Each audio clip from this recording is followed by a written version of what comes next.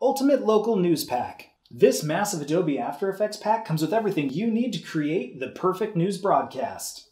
Animated intros, animated backdrops, lower thirds, transitions, a sidebar graphics panel, a cell phone footage window, and a full 3D set complete with multiple camera angle animations.